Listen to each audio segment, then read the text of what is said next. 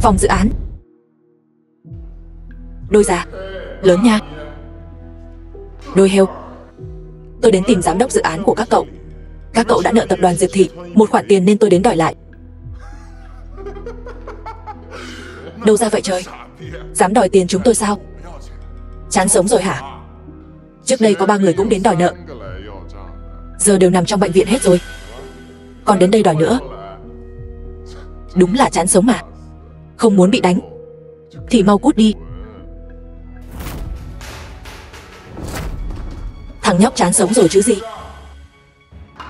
Đã mượn tiền thì phải trả. Nếu hôm nay không trả lại, Cả gốc lẫn lãi cho tôi, Thì đừng ai hỏng ra khỏi đây. Vẫn còn ra vẻ sao? Để tôi xem ai chán sống rồi. Không muốn bị đánh thì đừng đấu với tôi. Thằng nhãi danh, Dám đắc tội với tập đoàn Hổ Môn. Không cần mạng nữa sao? Nói đi. Đi đâu mới nhận được tiền? Có giỏi thì Đi tìm anh Hổ đó. Anh Hổ sao? Anh ta ở đâu? Anh Hổ mỗi đêm Đều sẽ đến hộp đêm vương miện Ở phòng 888 Hộp đêm vương miện. Hôm nay cô gặp mày đấy. Anh Hổ. Đã chọn cô rồi Nếu như cô có thể Làm anh Hổ hài lòng. Chuyện tiền bạc Không tiếc với cô đâu. Thật sao? Nghe nói anh Hổ là người rất hào phóng. Một lần có thể kiếm được hàng chục ngàn Chỉ cần cô có thể làm cho anh Hổ Ngày nào cũng gọi cô Ở Vân Hải. Sẽ không có ai dám đụng đến cô. Yên tâm đi quản lý Tôi nhất định sẽ cố gắng để lấy lòng anh Hổ. Đến lúc đó tôi sẽ trả ơn cho anh thật tốt. Được, được rồi, mau vào trong đi Đừng để anh Hổ đợi lâu.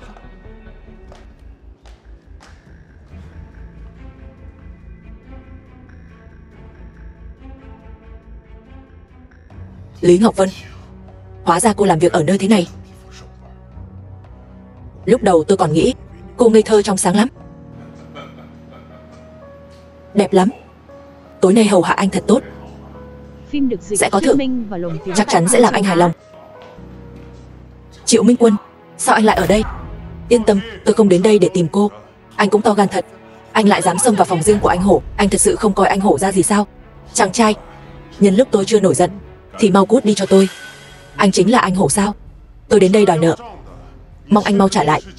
Số tiền 10 triệu mà anh nợ tập đoàn Diệp Thị. Tìm anh để đòi nợ. Bộ cậu không biết người đòi nợ tôi Sẽ có hậu quả thế nào hả? Cậu còn dám đến đây Tìm tôi đòi nợ sao? Nay anh trúng gan hùm hay gì rồi? Người đâu? Đánh gãy chân cậu ta cho tôi.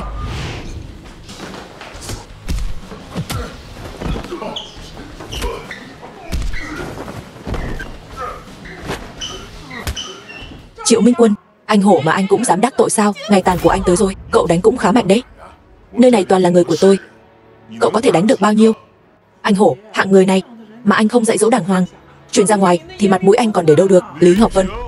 Không muốn bị đánh, Thì đừng đổ dầu vào lửa Cút khỏi đây cho tôi. Anh dám hung dữ với tôi. Anh hổ, Chính là anh ta đánh em. Anh nhất định phải thay em lấy lại công bằng. Thằng nhóc, Tôi sẽ cho cậu một cơ hội. Cậu bây giờ quỳ xuống cho tôi. Nếu không, đợi người của tôi đến. Cậu muốn quỳ đi nữa, Cũng không còn cơ hội.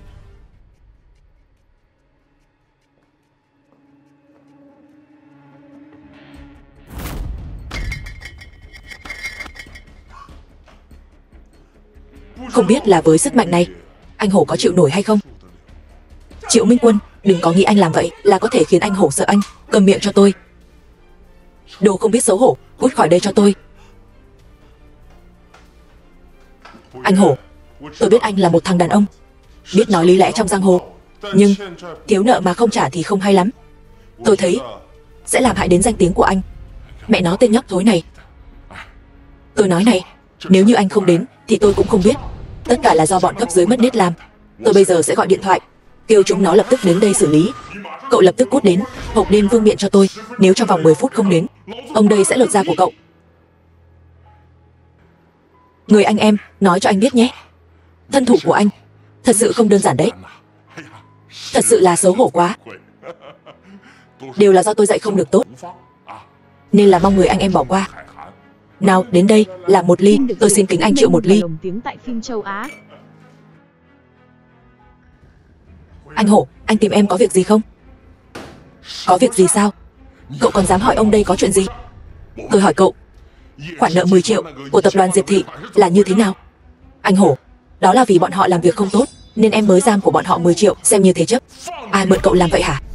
Cậu ngay lập tức đi kết toán cho tôi, tôi nói cho cậu biết. Nếu mà thiếu đi một đồng, ông đây lột da của cậu. Tôi, tôi sẽ đi ngay bây giờ. Đợi một chút đã nào. Trước đó anh đã thương ba nhân viên đòi nợ của chúng tôi. Tính như thế nào? Anh Triệu, anh muốn phạt bọn họ như thế nào? Anh cứ nói. Hoặc là bồi thường 3 triệu, hoặc là tự chặt hai tay mình. Anh chọn đi. Anh hộ tha mạng cho em anh ơi. Hôm nay ông đây nói cho cậu biết, nếu cậu không tự rút tiền túi của mình ra, bồi thường 3 triệu, trả cùng lúc với khoản nợ đó, thì ông đây sẽ tự mình cắt một tay của cậu, cậu tự chọn đi. Tôi, tôi sẽ bỏ ra 3 triệu. Anh Hổ. Cút. Anh Hổ. Tôi muốn kết bạn với anh. Anh chính là đại ca của tôi. Anh Hổ lớn tuổi hơn tôi, gọi tôi là đại ca không thích hợp. Tôi gọi anh là anh Hổ, còn anh gọi tôi là chú em. Được, tất nhiên là được. Vô cùng vinh dự cho tôi. Chú em Triệu, sau này có chuyện gì, cứ báo tên của tôi đây. Khắp cái Vân Hải này, không có ai dám, không cho tôi mặt mũi cả. Anh Hổ. Cạn ly. Đại sảnh bữa tiệc. Xem ra bữa tiệc rượu cũng rất hoành tráng đấy. Đương nhiên, đây là tiệc rượu do Thương hội Vân Hải đã tổ chức đấy. Những người đến đều là những nhân vật lớn của tập đoàn Vân Hải. Anh đi vòng vòng tham quan nhé. Em sẽ đi gặp một số ông chủ, bàn chuyện kinh doanh một lát. Được. Ngồi xuống đi.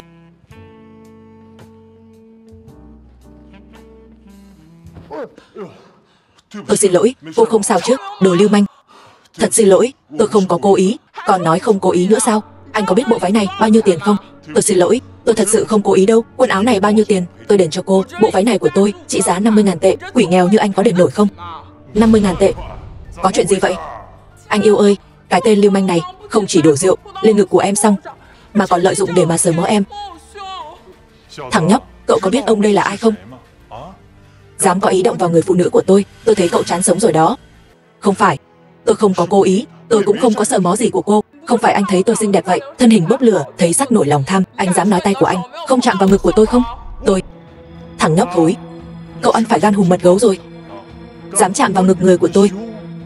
Tay nào chạm vào, ông đây sẽ chặt nó, ném ra ngoài. Anh yêu ơi, cả hai tay anh ta đều chạm vào. Ngực của người ta bây giờ đau quá, Cô đừng có vu khống tôi, tôi không hề đụng vào cô. Vậy ý của anh là tôi dùng danh dự của tôi đi vu khống cho anh. Anh là cái thá gì? Cũng xứng để tôi dùng danh dự của mình vu khống cho anh. Tôi thừa nhận là tôi, anh yêu, anh có nghe thấy không? Anh ta đã thừa nhận. Anh nhất định phải trả lại công bằng cho em. Thằng nhóc, có biết ông đây là ai không? Dám có ý với người của tôi sao? Tôi thấy cậu chán sống rồi đó. Quỳ xuống xin lỗi người phụ nữ của tôi. Nếu không, tôi sẽ chặt tay cậu. Tôi thừa nhận là tôi vô tình làm bẩn quần áo của cô nhưng tôi không chạm vào ngực cô quần áo bao nhiêu tiền tôi bồi thường cho cô đây là giới hạn của tôi hai người đừng ép người quá đáng tên nhóc này. Còn dám cãi lại tôi? Biết anh ấy là ai không? Anh ấy là tổng giám đốc hồ dương, của tập đoàn hổ môn. Ở vân hải, có bao nhiêu người? Dám đắc tội với tập đoàn hổ môn? Anh hổ là đại ca của tôi. Nếu tên nhóc cậu nhận thức được rồi, thì ngoan ngoãn mà quỳ xuống cho tôi. Nếu không thì, tôi chặt đứt hai tay cậu. Thằng nhóc này xui xẻo rồi, xúc phạm đến hồ dương. Dự là tay này không giữ lại được. Ai bảo tay hắn là bậy? Dám sờ ngực phụ nữ của hồ dương đây là chán sống lắm rồi. Tôi đã nói rõ ràng mọi việc. Không nghe thì tôi cũng không có cách nào. Đứng lại. Chuyện chưa giải quyết xong còn muốn chạy sao? Thằng nhóc, cậu nghĩ mình chạy thoát sao? Ngoan ngoãn quỳ xuống xin lỗi. Tự tay hủy đôi tay của mình. Thì tôi sẽ không truy cứu chuyện này nữa. Còn làm càn làm bậy, Tôi sẽ không khách sáo đâu. Anh Dương, Em không nghe nhầm chứ? Không khách sáo sao? Quả thật là mạnh miệng. Cậu chỉ là một thằng vô dụng Cũng dám nói khoác mà không biết ngượng. Một thằng vô dụng từ đâu ra? Dám ở đây nói sằng nói bậy. Cậu đụng tôi thử xem. Được. Bây giờ huề nhau nhé. Đứng lại. Ai huề với cậu? Cậu là cái thá gì chứ? Sức chịu đựng của tôi có giới hạn. Anh đừng có mà quá đáng. Quá đáng thì sao? Cậu có tin anh Dương chỉ cần một cuộc điện thoại, Những người được gọi đến, Mỗi người một câu nói thôi, Cũng có thể dìm mất cậu rồi. Tôi tạt cậu đấy. Thì cậu có thể làm gì tôi? Tôi có thể làm gì cô sao? Tôi có thể đánh cô đấy. Cậu dám đánh tôi? Cậu không muốn sống nữa đúng không? Thằng nhóc, Dám đánh người phụ nữ của tôi, Lập tức quỳ xuống xin lỗi cho tôi. Trước mặt tôi, Mà dám đánh người phụ nữ của tôi Đúng là coi trời bằng vung. Anh cũng muốn bị đánh đúng không? Anh yêu, Anh xem cậu ta kiêu ngạo thế nào kìa. Nhiều người đang nhìn như vậy. Nếu hôm nay anh không cho cậu ta một bài học, Thì người khác còn xem anh ra gì nữa? Người đâu? Đánh gãy chân cậu ta cho tôi. Tiêu rồi, Hồ Dương nghiêm túc thật rồi. Chân thằng nhóc này, chắc chắn sẽ toang. Ai bảo cậu ta kiêu ngạo như vậy? Còn dám đối đầu với Hồ Dương? Ngoan ngoãn cúi đầu nhận sai, Thì sẽ không có gì nữa. Loại người này tôi thấy nhiều rồi. Tự cho là mình giỏi. Cuối cùng, Có mất rồi cũng không ai biết. Người này, Dám quấy rối trật tự của buổi tiệc, Còn dám quấy rối tôi nữa. Còn không mau, đánh gãy chân của cậu ta, Rồi ném ra ngoài đi. Đợi đã. Chuyện gì vậy? Trần Hưng, Thằng nhóc này đã quấy rối người phụ nữ của tôi. Không những không xin lỗi, Mà còn đánh người. Gây rối nghiêm trọng trật tự của buổi tiệc. Tôi muốn đánh gãy chân cậu ta. Cậu không phiền chứ? Cậu vào đây với ai vậy? Có thư mời dự tiệc không? Tôi không có thư mời. Không có thư mời. Vậy là đến để ăn chùa sao? Quản lý Trần, Đừng nói nhảm với tên vô dụng này nữa. Trực tiếp xử lý là được rồi. Không có thư mời, Mà dám đến đây. Thằng nhóc, Cậu có biết đây là đâu không? Mà dám gây chuyện ở đây. Mau quỳ xuống. Xin lỗi Hổ Tổng và cô Châu đi. Tôi không có thư mời. Không có nghĩa là không thể vào. Quản lý Trần, Xem cậu ta kiêu ngạo kia. Điều này thật sự là không coi trọng thương hội mà. Nơi như thế này là nơi cậu ta muốn đến thì đến sao? Trần Hưng, Đối phó với loại vô dụng này, Cách tốt nhất là đánh một trận. Không quỳ đúng không? Cũng cao giáo đó. Người đâu? Kéo cậu ta ra ngoài. Đánh gãy chân cậu ta. Đợi đã. Diệp Tổng, Thằng nhóc này không mang theo thư mời mà vào đây. Còn làm phiền trật tự của hội trường. Tôi đang định trừng phạt cậu ta. Cô có chỉ thị gì không? Anh ta gây rối trật tự sao? Chuyện gì đang xảy ra? Diệp Tổng, Thằng vô dụng này thấy tôi xinh đẹp, Nên nảy sinh ý định xấu. Cậu ta dám quấy rối tôi Sờ ngực tôi. Là thật sao? Tất nhiên là không rồi. Vừa rồi không cẩn thận, Làm đổ rượu lên người cô ta, Chứ không hề đụng tới cô ta, Quấy rối rồi còn không dám thừa nhận. Chuyện như vậy, tôi còn có thể nói dối sao? Tôi tin anh ấy. Các người lui xuống đi. Diệp Tổng cô tin cậu ta. Diệp Tổng, cô đừng để bị cậu ta lừa. Loại người này nhất định sẽ tái phạm. Các người còn đứng đó làm gì? Còn không mau xử lý. Cô dám đụng đến người của tôi. Cái gì? Cậu ta là người của cô. Diệp Tổng, Cô và cậu ấy đến cùng nhau sao? Đúng vậy. Anh ấy là chồng của Diệp Mẫn Nhi tôi. Cô nói anh ấy quấy rối cô. Cô lấy đâu ra sự tự tin đó vậy? Cô nghĩ cô đẹp hơn tôi. Hay là thân hình đẹp hơn tôi? Cô nói gì? Làm sao có thể? Cô đã kết hôn rồi sao? Diệp Tổng, Sao tôi không hề nghe ai nói? Những chuyện cô không biết, Còn nhiều lắm. Chẳng lẽ tôi kết hôn Thì phải thông báo cho cô sao? Diệp Tổng, Cho dù cậu ta là chồng của cô, Chuyện hôm nay cũng không xong đâu. Ý cậu là sao? Người khác sợ Diệp ra. Tập đoàn hổ môn chúng tôi thì không sợ. Thằng nhóc này là chồng cô. Cô bảo vệ, không thành vấn đề. Nhưng Châu Ngọc cũng là người phụ nữ của tôi. Chẳng lẽ tôi không được bảo vệ sao? Cậu muốn gì? Cậu ta đánh người phụ nữ của tôi. Còn làm bẩn quần áo của ấy nữa. Khiến cô ấy mất mặt trước mọi người. Hôm nay nếu cậu ta không quỳ xuống, Thì đừng mong sống sót ra khỏi đây. Tôi thấy anh chán sống rồi. Thằng nhóc. Đừng tưởng Diệp Tổng ở đây. Thì cậu muốn làm gì thì làm. Cho dù là Diệp Tổng, Thì gặp anh hổ của chúng tôi Cũng phải nhường nhịn đấy. Hôm nay nếu cậu không quỳ xuống, Thì đừng mong sống sót ra khỏi đây. Cậu dám đánh tôi. Thằng nhóc này Ông đây đổi ý rồi. Tôi sẽ đánh gãy chân cậu. Bắt cậu quỳ bảy ngày bảy đêm. Cầu xin tôi tha thứ. Anh quá kích động rồi. Hồ Dương là người của anh Hổ. Anh đánh cậu ta cũng giống như đánh vào mặt anh Hổ. Mối thù này lớn rồi. Nghe thấy chưa, đồ vô dụng. Cho dù là Diệp ra Thì trước mặt anh Hổ chúng tôi Cũng không dám làm càn như vậy. Hôm nay cậu tới số rồi. Anh Hổ đến cũng là để xử lý anh. Anh đừng nghĩ, anh lấy lại được số nợ 10 triệu, Thì anh có thể đắc ý. Chuyện này để em xử lý, Anh nói là thật đấy. Anh Hổ có đến, Thì cũng là đến để đánh anh ta. Anh Hổ đến sẽ đánh tôi sao? Não cậu có vấn đề không? Bây giờ tôi sẽ gọi cho anh Hổ. Xem anh Hổ đến là đánh cậu, Hay là đánh tôi. Có chuyện gì vậy? Anh Hổ, Anh phải làm chủ cho tôi. Có người đánh tôi. Vậy thì chính là Đang đánh vào mặt anh Hổ đây. Phải đó, anh Hổ. Chúng tôi đã nói là người của anh. Cậu ta cũng không coi ra gì. Rất nhiều người ở đây đều thấy. Để anh còn mặt mũi nào nữa chứ? Anh Hổ, Chuyện này là do họ tự chuốc lấy. Diệp Tổng, Rất nhiều người ở đây đã thấy. Thằng nhóc này không chỉ làm bẩn quần áo người phụ nữ của tôi, Còn sỉ nhục cô ấy. Tôi bảo cậu ta xin lỗi. Có gì sai sao? Cậu ta không những không xin lỗi, Mà còn đánh người nữa. Cậu ta xem thường anh hổ của chúng tôi. Để mặt mũi của anh hổ Ở đâu chứ? Thôi rồi Anh hổ tức giận rồi. Xem ra hôm nay Diệp Tổng cũng không cứu nổi thằng nhóc này. Diệp Tổng lại tìm thằng nhóc này Làm chồng. Thật không biết là nghĩ gì nữa. Cóp kẻ mà đòi ăn thịt thiên Nga. Hồ Dương, cậu đừng có ăn không nói có. Triệu Minh Quân là chồng tôi. Hôm nay nếu ai dám động đến anh ấy Thì chính là kẻ thù của Diệp gia chúng tôi. Người khác sợ Diệp gia. Hổ môn chúng tôi thì không sợ. Thằng nhóc này hôm nay toang chắc rồi. Ai toang còn chưa chắc mà. Đến lúc này Anh Hổ ở đây. Thằng nhóc này còn dám Ở đây ăn nói sằng bậy nữa. Mau quỳ xuống dập đầu cho tôi. Đồ cặn bã này. Có biết anh ấy là ai không? Anh Hổ. Cậu, cậu ta không phải chỉ là chồng của Diệp Tổng thôi sao? Cậu nghe rõ cho tôi. Anh ấy còn là anh em của tôi. Cậu bảo anh em của tôi quỳ xuống dập đầu sao? Sao có thể?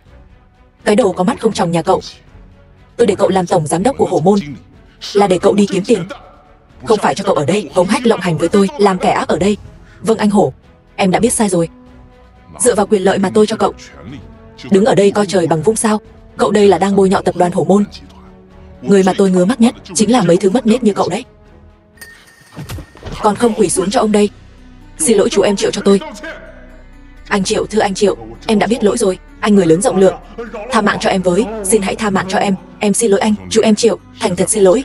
Công ty lớn thì loại người nào cũng có, Gây thêm rắc rối cho cậu rồi. Hôm khác mời cậu uống rượu. Anh Hổ, Khách khí làm chi? Còn đứng đó làm gì? Còn không cút đi. Đúng là trướng mắt mà.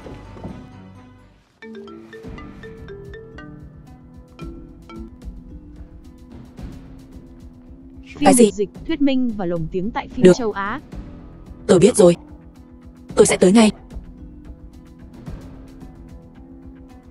Chú em Triệu Vậy hôm nay tới đây thôi. Hôm khác Tôi mời cậu uống rượu. Vậy tôi tạm biệt trước nhé. Diệp Tổng Anh Hổ Anh bận việc trước đi. Diệp Tổng Tôi cũng đi trước đây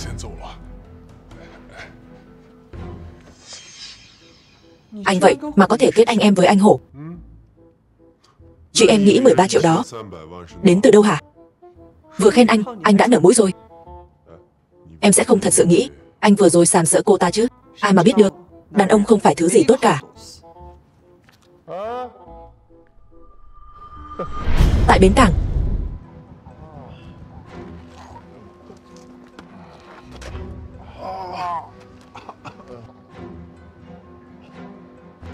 Anh Hổ Chính là hắn ta. Hắn đã đánh gục hết chúng tôi.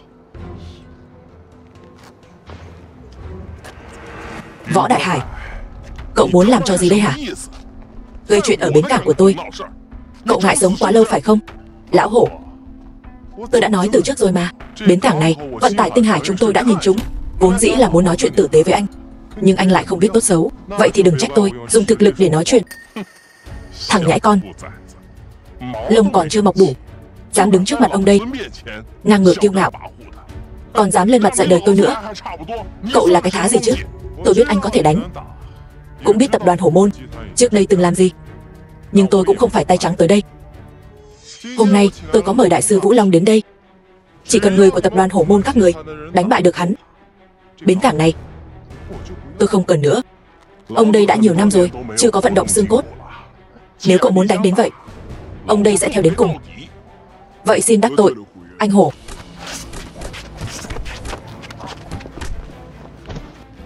Hay lắm.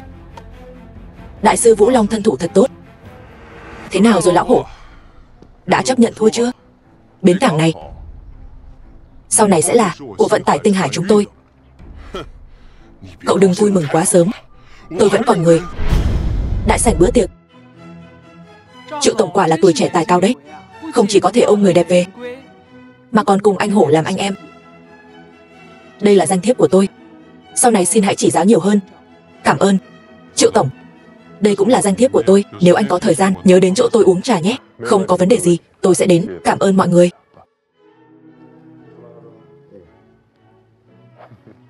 Anh bây giờ đã thành Người được săn đón của Vân Hải rồi. Bọn họ đều là người nổi tiếng của Vân Hải. Tùy tiện kết bạn với một người Cũng được lợi nhiều đấy.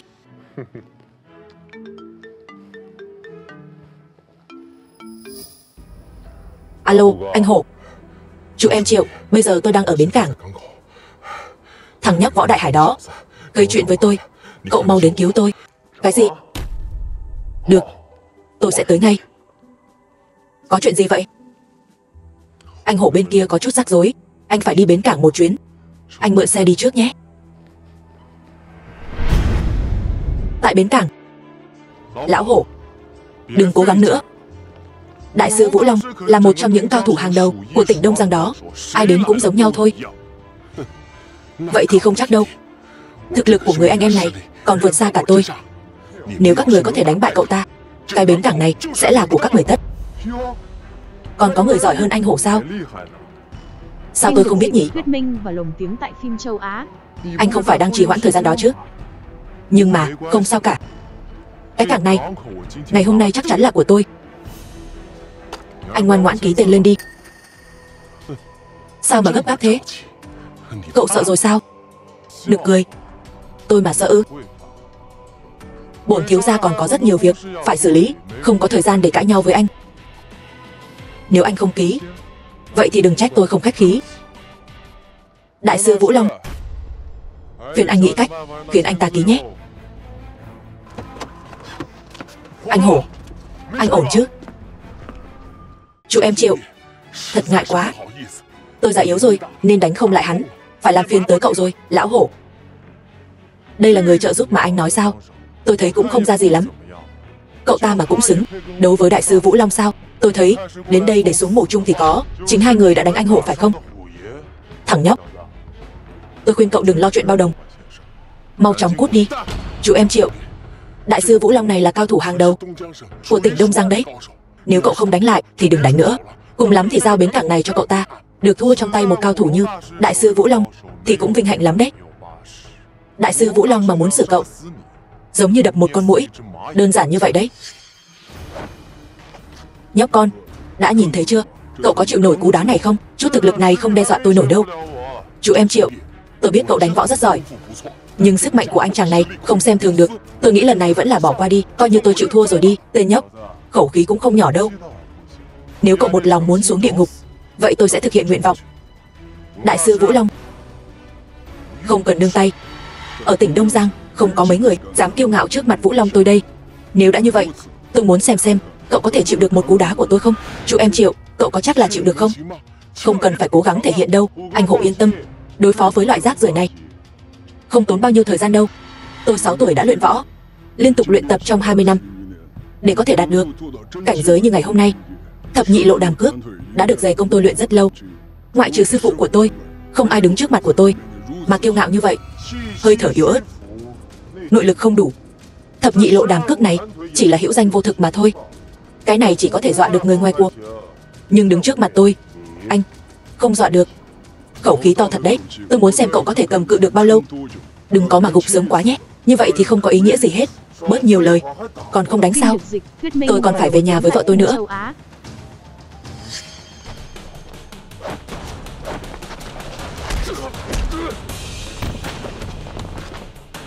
Rác rưởi. Đúng là yếu thật. Võ thuật của chú em Triệu, Quả nhiên là lợi hại. Hạ gục anh ta bằng một đòn. Không thể nào như vậy.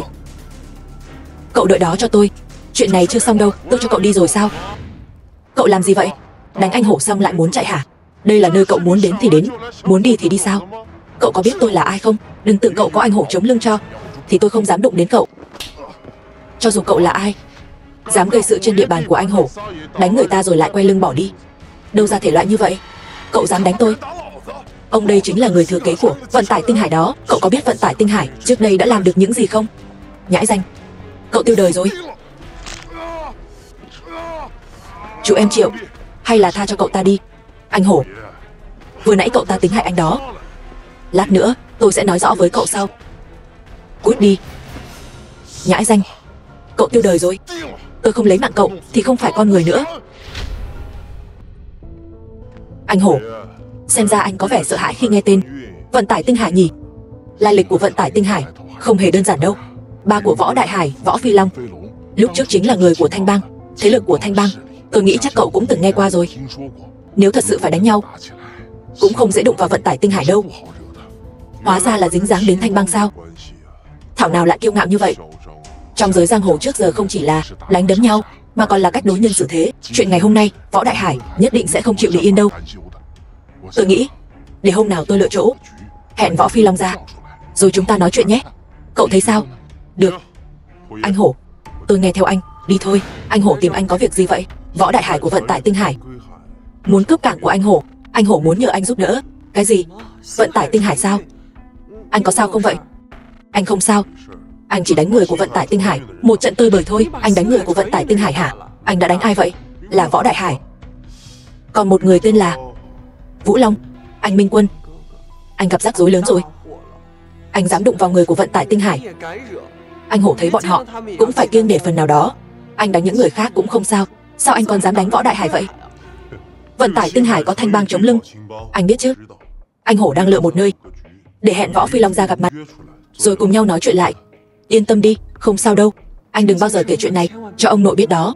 Nếu anh có cần gì, cứ nói với em. Em sẽ tìm cách giải quyết. Anh có thể giải quyết chuyện này. Em tuyệt đối đừng tham gia vào. Anh sợ Sẽ không hay cho Diệp ra. Bây giờ anh đã là chồng em rồi. Làm sao em có thể không quan tâm đến? Mà khoanh tay đứng nhìn trước. Biệt thự võ gia. Đã điều tra ra Triệu Minh Quân là chủ tịch tập đoàn Diệp Thị Là chồng của Diệp Mẫn Nhi. Tôi không cần biết cậu ta là ai Chỉ cần dám chống lại vận tải tinh hải của tôi Thì phải trả giá. Cho dù cậu ta có Tập đoàn Diệp Thị chống lưng cho Cũng vô ích thôi. Cái cô Diệp Mẫn Nhi này Chính là đệ nhất đại mỹ nhân của Vân Hải. Phim được dịch Đúng lúc con chưa có cơ hội để ra tay.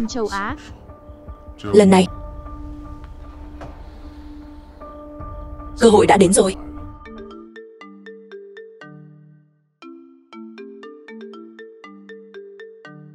Anh Phi Long, Anh có thời gian thì đến Vân Thủy một chuyến nhé. Anh hổ hẹn tôi. Tất nhiên là phải đi rồi. Nhưng mà anh phải dẫn theo Triệu Minh Quân đến đó nữa. Không thành vấn đề. Có chuyện nên muốn hẹn mọi người nói chuyện đây. Một tiếng nữa, Tôi sẽ đợi anh Phi Long ở nhà hàng Vân Thủy. Lão hổ hẹn ba đến nhà hàng Vân Thủy. Thằng nhóc đó cũng sẽ đến. Xem ra lão hổ, Không muốn làm lớn chuyện rồi. Xem như anh ta biết điều. Để xem tối nay, Con xử lý bọn họ thế nào. Nhà hàng Vân Thủy. Anh Phi Long, Nào, mời anh ngồi. Lão hổ, Không cần ngồi đâu. Tôi đến đây chỉ muốn một việc thôi. Giao thằng nhóc này cho tôi. Những chuyện khác tôi sẽ không truy cứu nữa. Nhãi danh, Tôi đã nói rồi. Tôi nhất định sẽ lấy mạng cậu. Anh Phi Long Lần này chúng tôi mời các anh đến đây để nói chuyện, Chứ không phải là vì sợ các anh. Chỉ là chúng tôi không muốn làm lớn chuyện này lên. Như vậy không tốt cho ai cả. Anh là cái quái gì hả? Gọi anh là anh hổ là vì nể mặt anh, Chứ anh chẳng là cái gì trong mắt chúng tôi cả. Đừng có không biết điều. Đã nói như vậy, Thì chắc không cần nói chuyện nữa đâu. Vẫn phải nói chuyện chứ. Mau bắt thằng nhãi này. Quỳ xuống xin lỗi tôi đi. Sau đó phải liếm sạch giày của tôi, Như một con chó vậy đó. Tôi có thể nổi lòng từ bi, Tha cho cậu ta một mạng, Mặc dù hai người có thanh bang chống lưng. Nhưng ở đây là Vân Hải. Không biết hai người đã từng nghe qua một câu tục ngữ chưa? Đó là phép vua thua lệ lang. Nếu thật sự muốn đánh nhau, Móng hổ của tôi Có thể xé mấy người ra từng mảnh đó. Lão hổ. Anh đang đe dọa tôi sao? Võ Phi Long tôi lại để bị đe dọa sao? Tôi muốn cảng của anh nên mới thương lượng. Là đã nể mặt anh lắm rồi Tôi cho anh thể diện mà anh không cần Vậy tôi chỉ có thể cướp thôi Vương Hổ mặc dù anh được coi là Người có máu mặt của Vân Hải Nhưng mà thanh bang chúng tôi Chỉ cần cử đại một người nào đó là có thể lấy mạng anh dễ dàng. Ở trước mặt Thanh Bang, hai người chẳng là cái gì cả. Đối phó với anh, cũng cần người của Thanh Bang ra mặt sao? Chỉ cần Thanh Bang ra lệnh, Vương Hổ Anh không sống nổi ba ngày đâu. Được rồi, nếu không thể nói đàng hoàng, vậy tôi xin đắc tội nhé. Chú em chịu, chúng ta đi thôi, anh Hổ đương nhiên có thể đi. Nhưng cậu ta thì không được. Thích ra vẻ ta đây lắm đúng không? Lại thèm đòn sao? Tôi biết cậu đánh nhau giỏi rồi. Nhưng thế thì sao hả? Người của Thanh bang giỏi hơn cậu nhiều. Biết bao nhiêu người, còn giỏi hơn Vũ Long nữa, muốn lấy mạng cậu. Dễ như trở bàn tay. Bây giờ quỳ xuống xin lỗi tôi đi. Sau đó dẫn cô vợ nhỏ bé, Diệp Mẫn Nhi qua phòng của tôi.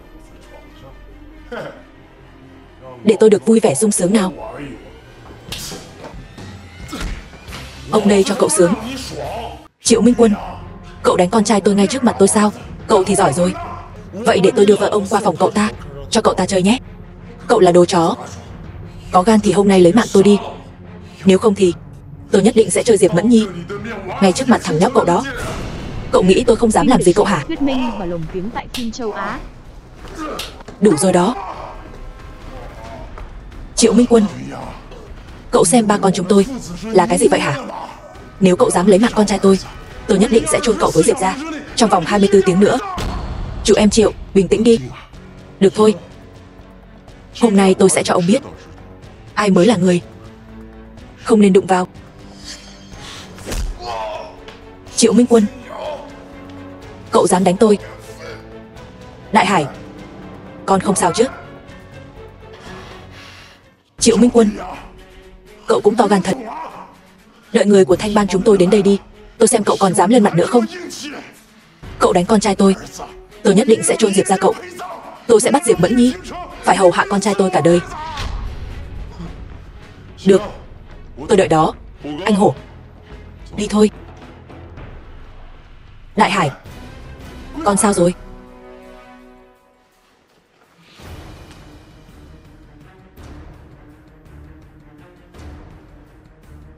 Sư phụ, Đại Hải bị người ta đánh.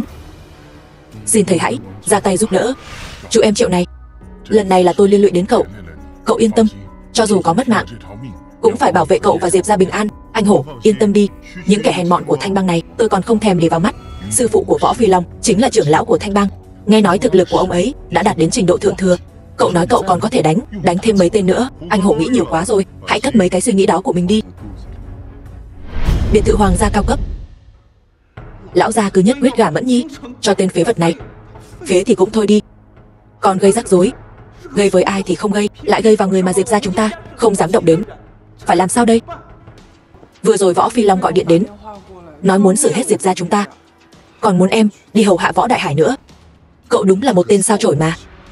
Cậu mới đến nhà chúng tôi không bao lâu, Đã gây ra rắc rối lớn như vậy. Cậu có biết sau lưng Võ Phi Long Là ai chống lưng không? Đó là Thanh Bang đấy. Cả Long Quốc này có mấy ai dám đụng đến chứ? Lão gia quá hồ đồ mà. Khiến Diệp ra chúng ta Đi vào con đường diệt vong rồi. Có con ở đây Họ không dám làm gì Diệp ra cả.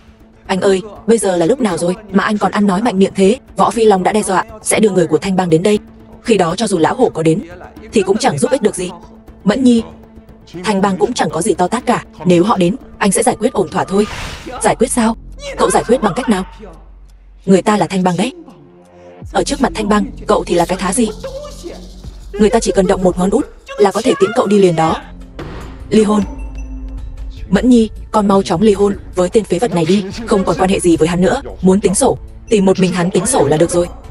Vô dụng thôi.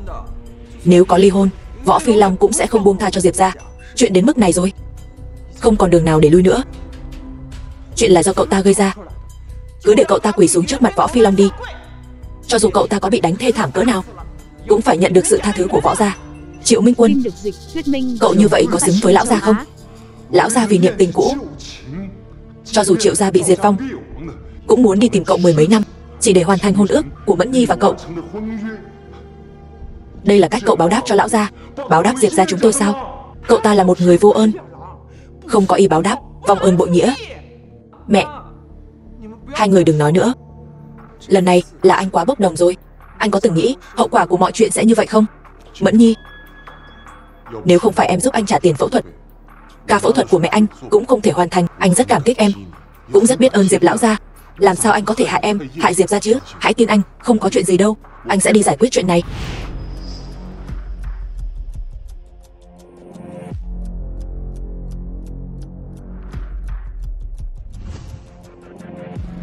Bái kiến Dương trưởng lão. Anh Minh Quân. Em biết, anh và Hổ Gia là anh em thân thiết, Cũng có chút bản lĩnh. Nhưng mà, Hổ Gia và Thanh Bang Hoàn toàn không phải là cùng một khái niệm, Anh hiểu không? Triệu Minh Quân. Nếu cậu thực sự biết ơn Mẫn Nhi, Cậu nên dập đầu tạ lỗi đi. Đến lúc đó, Võ Phi Long nhìn thấy thành ý của chúng tôi. Nói không chừng, Sẽ không làm khó chúng tôi nữa. Nếu cậu là một người đàn ông, Thì việc mình làm mình tự chịu. Đừng liên lụy đến Diệp gia chúng tôi.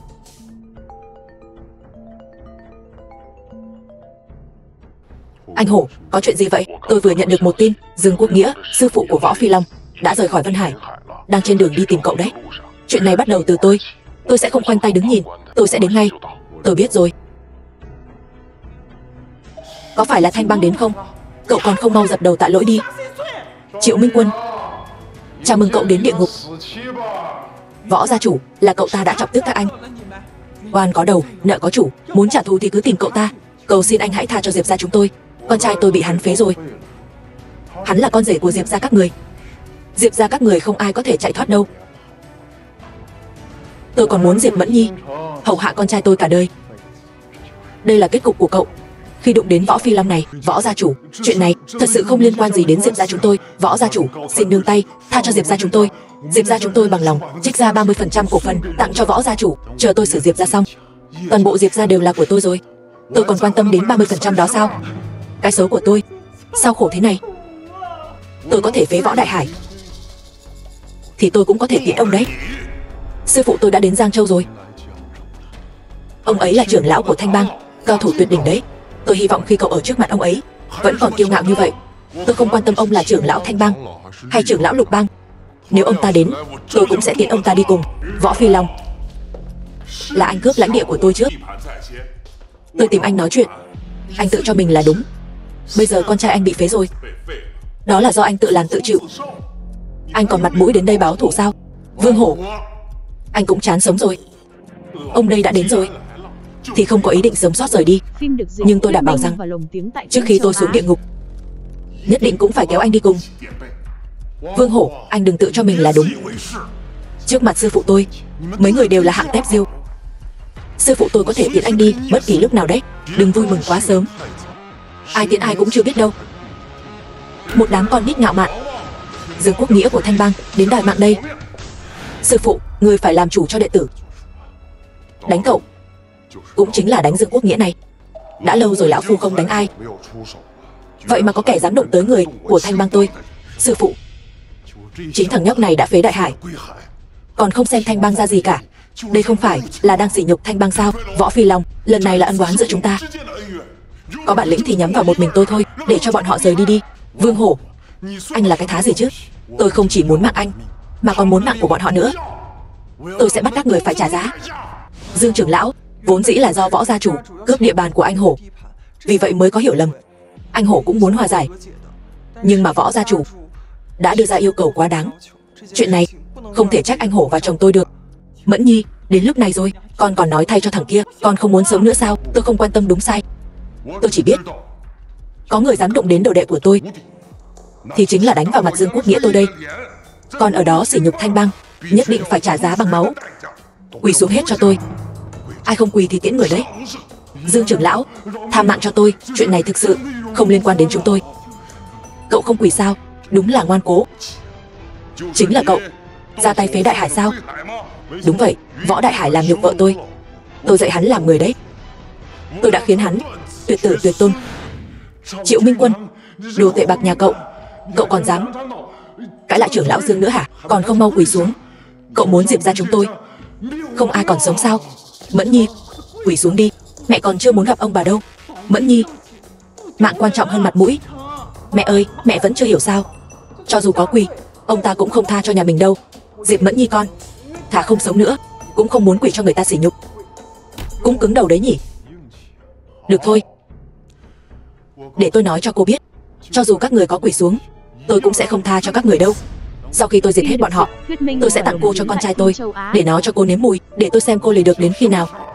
Võ Phi Long, Nếu ông dám sỉ nhục vợ tôi thêm lần nữa, Tôi sẽ cho ông nếm mùi trước đấy. Nếu cậu quỳ xuống cầu xin tôi. Tôi sẽ cân nhắc, cho cậu ra đi nhẹ nhàng hơn một chút. Nếu không, Tôi có tận một nghìn cách, Khiến cậu đau đớn mà nhắm mắt. Nhân tiện, Không phải cậu yêu vợ cậu lắm sao? Một lát nữa Tôi sẽ từ từ lột từng mảnh vải trên người cô ta ra, Để mọi người cùng thưởng thức. Cầm cái miệng bẩn thỉu của ông lại đi. Đến nước này rồi còn lớn giọng. Tôi cũng sẽ cho ông một cơ hội. Quỳ xuống, Dập đầu. Cầu xin vợ tôi đủ 100 cái. Nếu không, tôi cũng có sẵn một nghìn cách. Khiến ông nếm đủ loại đắng cay đấy. Nói nhảm cái gì vậy? Bảo tôi quỳ hả? Cậu sợ quá hóa khờ rồi hả? Lột sạch đồ của Diệp Mẫn Nhi cho tôi.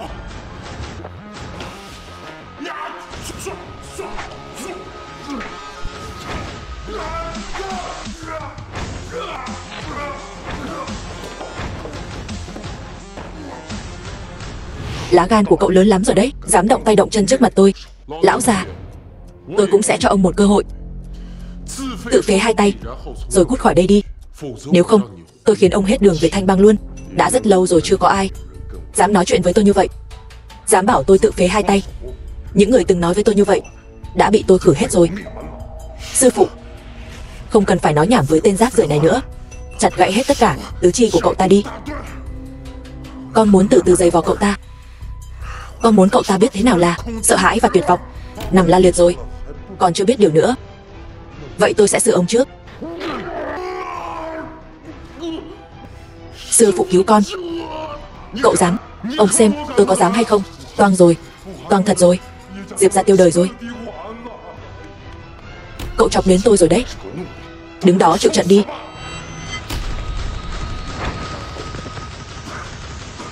Yếu đến thế sao? Chỉ với mấy chiêu này của ông, Gọi ông là rác rưởi, Cũng không quá nhỉ. Rốt cuộc cậu là ai hả? Một cú của chú em Triệu Đã hoàn toàn đánh bại Dương Quốc Nghĩa. Sức mạnh này Rốt cuộc đã đạt đến cảnh giới nào vậy? Anh Minh Quân thắng rồi. Ông chưa có tư cách biết tôi là ai đâu. Hôm nay cậu có thể thắng tôi, Nhưng thanh bang cao thủ vô số kể. Tôi cũng chỉ đứng hạng 10 trong số đó. Bây giờ cậu thật sự đắc tội với thanh bang rồi. Chờ ngày thanh bang trả thù cậu đi. Thanh bang trả thù hả? Chỉ là một thanh bang nhỏ bé, Tôi vốn không hề để tâm. Ông bảo người của thanh bang đến đây hết đi. Đến bao nhiêu? Tôi xử bấy nhiêu? Thật điên rồ. Tổ chức thanh bang, Có lịch sử hàng trăm năm. Không lẽ còn đấu không lại? Một tên vô danh tiểu tốt như cậu sao? Cậu đợi đó. Tôi sẽ bảo thanh bang phát lệnh thí sát cậu. Phim được dịch Vân Thành thuyết nhỏ bé. và lồng tiếng tại phim châu Để Á. xem cậu có cách nào. Chịu nổi thí sát lệnh của thanh bang. Khá khen cho thanh bang. Còn dám hạ lệnh thí sát. Muốn làm loạn. Xem mạng người như cỏ rác hả? Cậu là ai nữa? Hỗn xược Không được vô lễ. Đây là chiến tướng Thanh Long của thần Long Quân. Mở to mắt ra mà nhìn cho tôi. Tham kiến chiến tướng Thanh Long. Tôi phụng lệnh tuần tra Vân Hải. Biết được ân oán giữa Dương Quốc Nghĩa và Diệp Gia Tôi đã nắm được.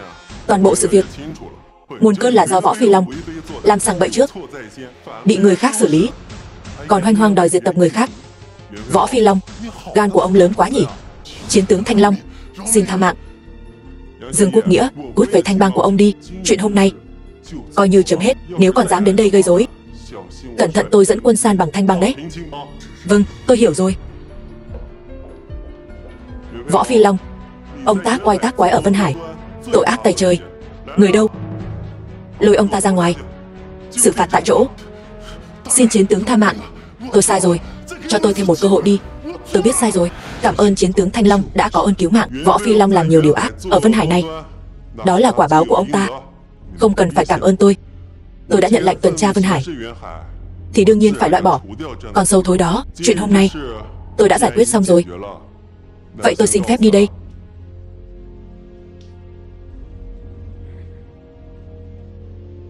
Đồ vô dụng nhà cậu. Nếu hôm nay chiến tướng không đến, Thì Diệp ra bị cậu hại thê thảm rồi. Mẫn Nhi, Mau ly hôn với thằng vô dụng này đi. Sau này không biết nó còn gây ra họa gì nữa. Mẹ con nói đúng đấy, Bắt buộc phải ly hôn. Tránh xa cậu ta ra. Mặc dù lần này anh Minh Quân có hơi bốc đồng, Nhưng anh ấy cũng chỉ muốn bảo vệ con thôi, Con không ly hôn với anh ấy đâu. Con muốn chọc tức mẹ hả? Được thôi, con không ly hôn, Thì mẹ đi tìm ông con. Mẹ sẽ kể chuyện. Cậu ta suýt làm Diệp ra tan cửa nát nhà, Cho ông ấy nghe. Để mẹ xem. Ông ấy có chấp nhận Cuộc hôn nhân này không? Mẹ, Sức khỏe của ông nội không tốt. Lỡ ông có gì bất chắc, Thì mẹ có yên lòng không? Mặc dù đây là chuyện nhà của Diệp ra các người, Nhưng tôi cũng phải nói vài câu. Triệu lão gia tuyệt đối sẽ không. Hồ đồ vậy đâu? Sau này, Chú em Triệu át sẽ thành người tài hiếm có. Nếu hôm nay hai người đuổi cậu ấy đi, Sớm muộn gì cũng phải hối hận. Anh Hổ Cậu ta đúng là giỏi đánh nhau Nhưng lại càng giỏi gây rắc rối. Lần này là nhờ có Thanh Long đại nhân Lần sau thì sao? Diệp ra chúng tôi không dám cược đâu. Mắt nhìn của chủ tịch Diệp tốt hơn ông. Chẳng trách Diệp lão ra giao Diệp thị. Cho chủ tịch Diệp quản lý. Chú em Tôi đi trước đây. Hồng khác Gặp nhau uống rượu tâm sự đi. Phim được dịch, thuyết Anh Hổ, tôi tiện anh, bờ sông. Tham kiến Long soái. Đứng dậy đi. Sao cậu lại đến đây? Long soái Thần Long quân không thể không có anh. Các tướng sĩ đều rất nhớ anh. Xin anh hãy quay về thần Long quân. Tôi đã chán ngấy cảnh đánh đấm rồi. Chỉ muốn làm người bình thường. Để mẹ tôi an hưởng tuổi già. Cậu về đi. Nói với các tướng sĩ. Mặc dù tôi rời khỏi thần Long quân, Nhưng lòng tôi vẫn ở đó. Đến lúc cần thiết, Tôi ắt sẽ về. Long soái, Còn chuyện này nữa. Trấn Bắc Vương đã cho người. Trấn thủ Vân Châu rồi. Lần này tôi đến Vân Hải tuần tra, Là vì giúp Trấn Bắc Vương tìm hiểu tình hình trước. Lý Trung Nguyên Trở thành người trấn giữ Vân Châu. Đây là thư mời mà Trấn Bắc Vương bảo tôi đưa cho anh. Thư mời 7 ngày sau, Trấn Bắc Vương sẽ tổ chức Lễ nhậm chức ở Vân Hải. Muốn mời anh tham gia. Lý Trung Nguyên cùng tôi vào sinh ra tử. Làm tướng rồi được phong vương. Không ở yên ở thần Long quân. Lại chạy đến Vân Châu trấn thủ làm gì? Chỉ vì tôi Mà loạn hết cả rồi. Tôi cần được bảo vệ lắm sao? Lòng sói bớt giận. Lần này triều đình xuất hiện vài tin đồn không tốt về anh. Trấn Bắc Vương sợ là Sẽ có người của triều đình nhắm vào anh. Cho nên lần này đặc biệt, Đến tìm đại trưởng lão nói chuyện, Chủ động xin tới Vân Châu. Tôi biết ngay mà. Bọn họ sẽ mượn chuyện Tô Gia bị diệt tộc để nói. Bọn họ muốn chống đối tôi, Thì cứ để họ làm. Triệu Minh Quân tôi, Thì có sợ gì? Biệt thự hoàng gia cao cấp. Mẫn Nhi. Lần này lại gây rắc rối cho em. Anh có nghĩa khí, Em rất ngưỡng mộ. Nhưng sau này anh làm việc, Có thể cẩn thận hơn một chút không? Đừng kích động như vậy. Mặc dù nói, Diệp Thị ở Vân Hải Là một trong những gia tộc lớn, Nhưng cũng không phải Ai cũng có thể chọc nổi. Diệp Thị là tâm huyết của ông nội. Em không muốn Diệp Thị Bị hủy hoại trong tay em. Anh Minh Quân, Anh có hiểu không? Sau này đều nghe em cả. Mệt rồi sao Để anh xoa bóp cho em Kỹ thuật của anh cũng không tệ đâu đấy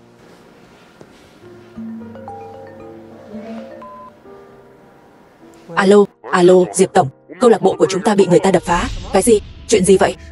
Nghe nói là do đối phương không hài lòng với kỹ thuật viên massage nên đã đánh kỹ thuật viên một trận. Người của chúng ta cũng đánh người ta. Nhưng người đó hình như có chút ra thế. Kết quả đã gọi một đám người đến đập phá câu lạc bộ của chúng ta. Đối phương còn nói lời ác ý, nói nếu chúng tôi mà tu sửa lại, anh ta sẽ dẫn người đến phá. Đã điều tra đối phương là ai chưa? Điều tra rồi, hình như là người của đế đô. Dù sao thì ra thế cũng không phải dạng vừa. Được, tôi biết rồi, tôi sẽ tới đó ngay. Sao vậy? Một trong những câu lạc bộ giải trí của chúng ta bị đập phá, em phải qua đó ngay. Anh đi cùng em, câu lạc bộ giải trí của Diệp gia. Diệp tổng, người đang ở bên đó. Châu Đức Nhân. Chào anh, tôi là chủ tịch tập đoàn Diệp Thị, Diệp Mẫn Nhi. Không biết, anh đây, xưng hô thế nào? Từ lâu tôi đã nghe, chủ tịch của tập đoàn Diệp Thị Vân Hải, chính là mỹ nữ đẹp nhất của Vân Hải, tài sắc vẹn toàn, phong thái xuất chúng. Hôm nay gặp mặt, quả thật không tầm thường. Kỹ thuật viên của các người làm tôi rất khó chịu, vậy nên tôi đã tát cậu ta. Cậu ta lại gọi người đến đánh tôi. Tôi là thiếu gia của Châu gia, thành viên của ngũ đại gia tộc tại đế đô. Nếu chuyển ra ngoài, sau này tôi làm sao sống ở đế đô nữa? Chuyện này là chúng tôi không đúng. Anh đập phá cũng đập phá rồi, không biết anh có hài lòng chưa? Châu Đức Nhân tôi ở đế đô, chưa từng bị ai chọc giận như vậy. Đập phá một chút mà đã hài lòng sao? Cô nghĩ tôi là gì? Như vậy đi. Hoặc là, trong 7 ngày nữa, các người tu sửa xong chỗ này để tôi đập phá nó một lần nữa. Hoặc là, Diệp Tổng, cô ở lại đây, uống với tôi một ly, nếu cô phục vụ tôi tốt, chuyện này, tôi có thể không truy cứu nữa. Châu Thiếu Gia, anh đại nhân đại lượng, ly này, Tôi kính anh.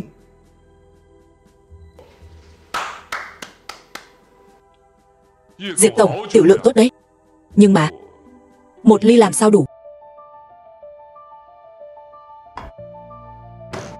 Ít nhất là một chai này. Châu thiếu ra, hay là chai này, để tôi uống cho.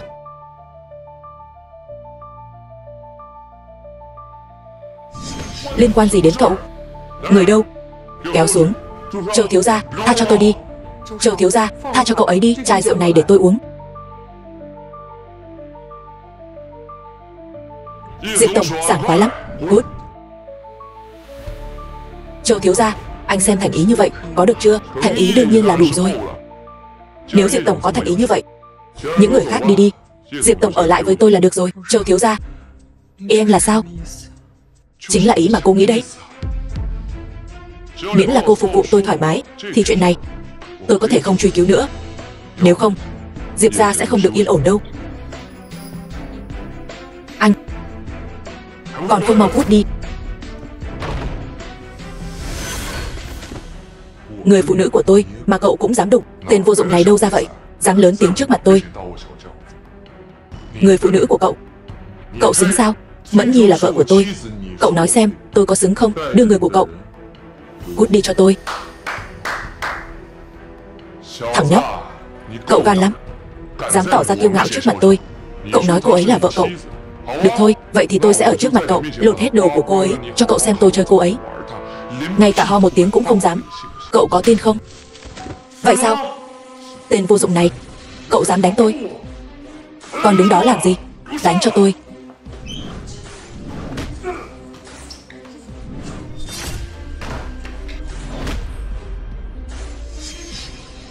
Tôi cảnh cáo cậu Chuyện hôm nay coi như đã xong Cậu mà gây rối với Diệp Tổng nữa Tôi sẽ để cậu Không ra khỏi Vân Hải được.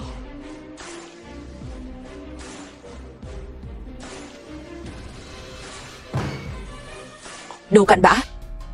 Nếu tôi không khiến Diệp Mẫn Nhi quỳ xuống cầu xin tôi chơi cô ta, không khiến cậu sống không yên thân, thì tôi không phải họ Châu. Biệt thự hoàng gia cao cấp. Em tỉnh rồi sao? Vừa hay, nhân lúc còn nóng, uống canh gừng đi. Tối qua đã xảy ra chuyện gì vậy? Anh đánh Châu Đức Nhân một trận, rồi đưa em về nhà. Anh, bỏ đi. Dù sao tình huống hôm qua cũng không có cách nào khác. Chỉ là Châu gia là nhà quyền quý ở đế đô. Diệp gia chúng ta căn bản không thể đụng vào. Alo, bà ơi, rốt cuộc tại sao tụi con lại chọc giận? Châu gia ở đế đô rồi.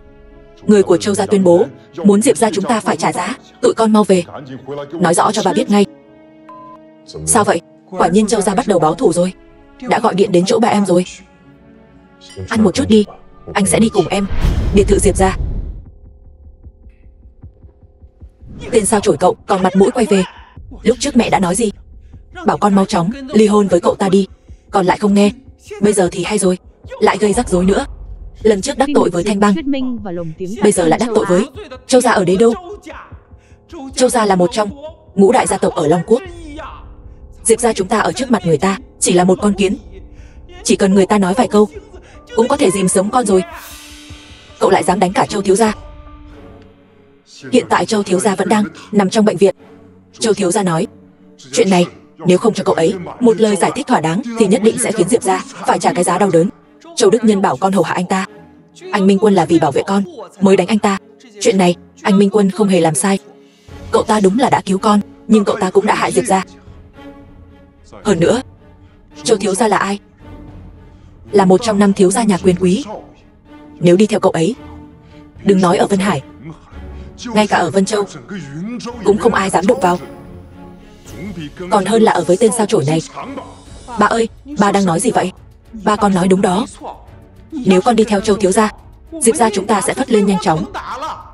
Còn hơn là đi với kẻ vô dụng này, cậu ta ngoài việc gây rắc rối cho con thì chẳng làm được gì khác.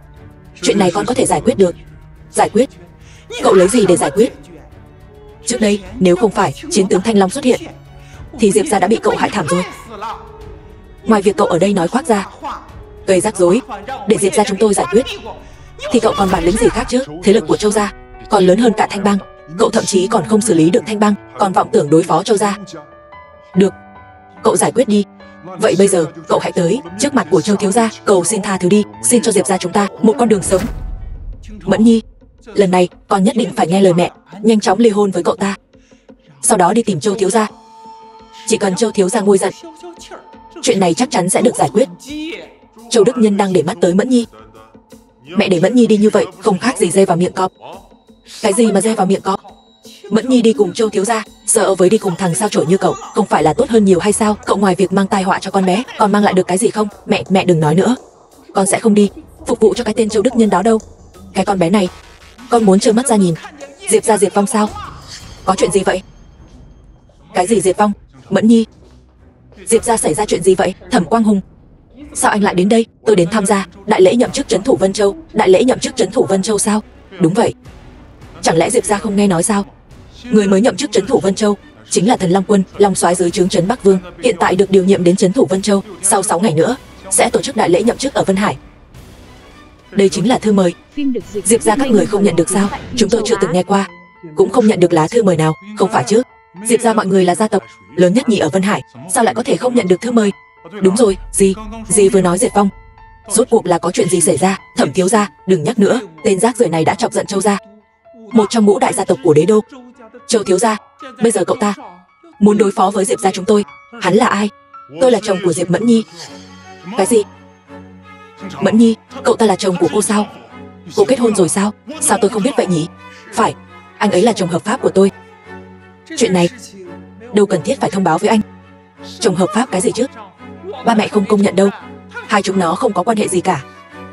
Mẫn Nhi, cô là người đẹp nhất ở Vân Hải này. Còn là chủ tịch tập đoàn Diệp Thị. Ngay cả tôi mà cô cũng từ chối. Cô lại cưới một tên rác rưởi như vậy sao?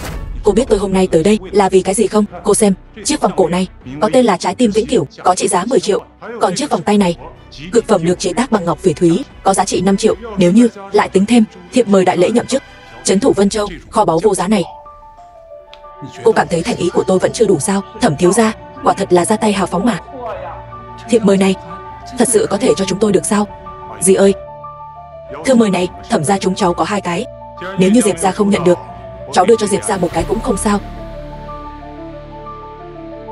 Chỉ cần Mẫn Nhi đồng ý ly hôn với cậu ta, sau đó cưới cháu, thì những thứ này đều là của Diệp gia. Ngoài ra, cháu và Châu thiếu gia xem như có chút quen biết. Chuyện của Châu thiếu gia và Diệp gia, cháu cũng có thể giải quyết. Thẩm thiếu gia và Châu thiếu gia có quen biết nhau sao?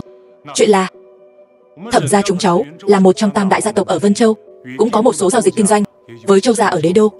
Qua lại vài lần thì cũng xem như quen biết, miễn là cháu sẵn sàng ra mặt, cháu tin rằng Châu thiếu gia sẽ cho cháu một chút thể diện. Mẫn Nhi, mau chóng đồng ý với Thẩm thiếu gia, ly hôn với tên rác rưởi này đi. Mẫn Nhi, cô có biết thư mời này có ý nghĩa là gì không? Chỉ cần tham gia đại lễ nhậm chức trấn thủ Vân Châu thì sẽ có cơ hội gặp mặt trấn thủ đại nhân, có lẽ còn có cơ hội để dựa hơi trấn thủ đại nhân. Việc này đối với Diệp gia mà nói, đâu dễ mà có được. Đúng vậy, nếu có thể để lại ấn tượng tốt với trấn thủ đại nhân, việc đó đối với Diệp gia sẽ mang lại lợi ích cực kỳ to lớn. Trấn thủ đại nhân là Trấn Bắc Vương, phía sau còn là Long Soái của Thần Long Quân. Long Soái bây giờ là người, dưới một người, trên vạn người, có chỗ dựa là trấn thủ đại nhân. Vậy cũng giống với có chỗ dựa là Long Soái, cơ hội như vậy, bao nhiêu người muốn cũng không cầu được. Mẫn Nhi, cô muốn bỏ lỡ cơ hội sao? Cảm ơn lòng tốt của anh. Tôi sẽ không ly hôn với anh ấy đâu. Mẫn Nhi, tên cặn bã này có gì tốt? Tôi đối với cô thật lòng thành ý. Như vậy, chỉ cần cô đồng ý cưới tôi, tất cả của tôi sẽ là của cô. Không phải chỉ là thư mời thôi sao? Cậu nghĩ chỉ có mình cậu có, tôi cũng có một lá thư mời đây. Hàm lượng vàng trong đây hẳn là lớn hơn của cậu nhiều. Anh Minh Quân, sao anh lại có thư mời vậy? Tên sao chổi như cậu, làm sao mà có thư mời được? Sáng nay có người đưa đến, biệt thự hoàng gia cao cấp. Lúc đó mẹ đang say giấc, nên con nhận thư giúp mẹ. Cậu ta không nói, thì anh cũng quên mất. Hóa ra không phải là gửi cho cậu, mà là cho Mẫn Nhi nhà chúng tôi. Xem ra không phải Diệp gia không nhận được. Tôi nói mà, dựa vào địa vị của Diệp gia ở Vân Hải này, làm sao có thể không nhận được thư mời chứ? Có cái thư mời này, chúng ta cũng có thể nhìn thấy Trấn Bắc Vương. Đây quả thật là một cơ hội tuyệt vời.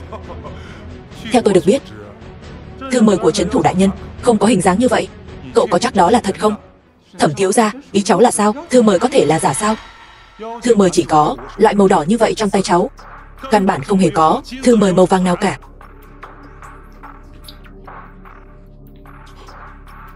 Bị tôi nói trúng rồi phải không? Mọi người xem cho kỹ nội dung trên đây đi. Trên đó viết, Mời Long soái đến tham dự. Lẽ nào đang gọi cậu là Long soái sao? Gan của cậu to lắm đấy. Giả mạo thư mời cũng thôi đi. Còn dám tự xưng là Long soái, Cậu có biết hậu quả của việc này không? Nếu để cho chấn thủ đại nhân biết được, Có thể sẽ xử lý cậu ngay tại chỗ. Cái tên sao chổi nhà cậu, Sao cậu lại dám giả mạo thư mời? Cậu hại Diệp ra còn chưa đủ sao? Tôi biết rồi. Chắc chắn là cậu. Nhận được tin tức từ chỗ anh Hổ Là Trấn Bắc Vương sẽ đến chỗ chúng ta. Nên là cậu muốn Dựa vào cái lá thư mời này. Cậu muốn dùng nó Để đối phó với Châu Thiếu Gia. Đây là những gì cậu nói. Để cậu giải quyết sao? Cậu đây là đang đẩy Diệp ra. Vào con đường cùng đấy. Mẫn Nhi, Cô có chắc muốn đi cùng với người đàn ông này không? Loại người này không chỉ không có bản lĩnh, Mà còn liên lụy đến cô. Tôi khuyên cô nên ly hôn cậu ta sớm đi. Mẫn Nhi, Lá thư mời này là thật. Anh không việc gì phải lừa em. Cậu còn dám nói nó là thật, Nếu không phải thẩm thiếu gia. Ở đây kịp vạch trần cậu, Cầm cái lá thư mời giả này. Diệp ra chúng tôi bị cậu hại thảm rồi. Tên kia, Tôi khuyên cậu nên tránh xa Mẫn Nhi ra. Cậu không xứng với Mẫn Nhi đâu. Làm người phải tự biết mình. Đừng có vọng tưởng, Cóp kẻ mà đòi ăn thịt thiên Nga. Chuyện này có liên quan đến cậu không? Mẫn Nhi, Tôi biết cô là người hiểu đạo nghĩa. Không sao hết, Tôi có thể đợi. Chuyện giữa Châu Thiếu Gia và Diệp Gia Tôi có thể làm người trung gian. Bây giờ tôi sẽ đi tìm Châu Thiếu Gia. Cô chờ tin tức của tôi nhé. Thưa chú, thưa gì? Cháu xin phép đi trước. Mẫn Nhi Thẩm Thiếu Gia tốt biết bao nhiêu? Không để ý con đã kết hôn Còn nguyện ý giúp con xử lý Ân quán với Châu Thiếu Gia. Đầu óc của con Tại sao lại không hiểu chuyện đến vậy? Tên sao chổi này có gì tốt? Anh Minh Quân Anh đi với em một chút.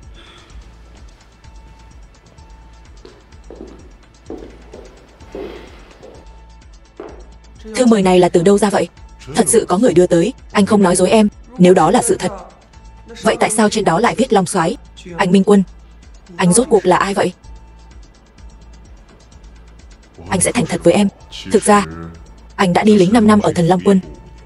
Nói dạo, Anh tiếp tục bịa chuyện đi. Anh chỉ mới đi lính 5 năm. Sao có thể trở thành long Soái? Chúng ta đi thăm ông nội đi. Nhà Diệp Thiên Long. Minh Quân Mẫn Nhi, Hai đứa đã quen với nhau chưa? Ông yên tâm, Hai tụi cháu vẫn rất tốt. Tốt Tốt lắm. Sức khỏe của ông nội không tốt. Tâm nguyện lớn nhất của ông Chính là được nhìn thấy Cháu với Mẫn Nhi có con với nhau.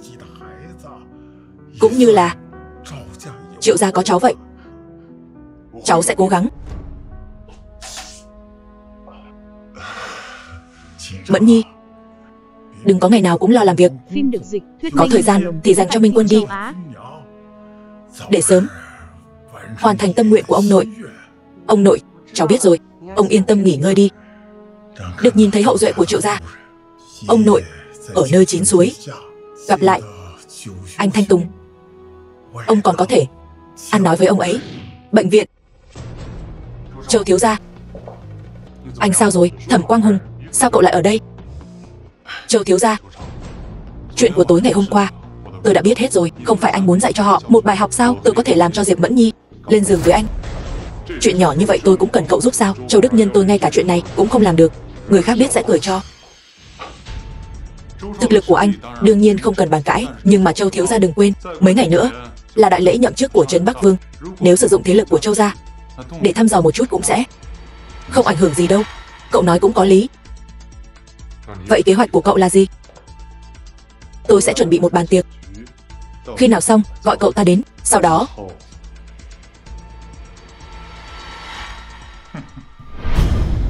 Phòng riêng nhà hàng. Đến rồi sao? Mẫn Nhi Hôm nay tôi đã năn nỉ Châu Thiếu Gia mãi. Mới mời được anh ấy đến đây Cô phải đón tiếp cho đàng hoàng đó. Châu Thiếu Gia Dẹp bỏ thù hận vẫn tốt hơn là cứ giữ nó. Anh xem Muốn giải quyết thì cũng được. Thứ nhất để tôi đánh trả lại.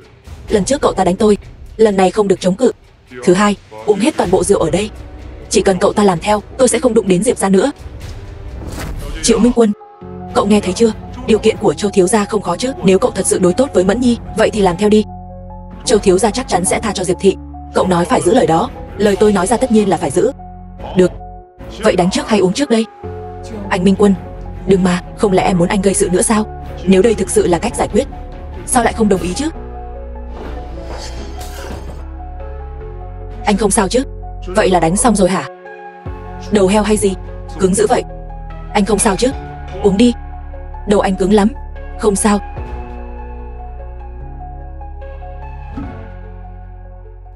Trong rượu có độc hả? Cái gì? Đúng vậy. Toàn bộ rượu ở đây đều có độc. Thật không ngờ cậu uống một hơi, Lại hết một chai rượu. Lợi hại thật.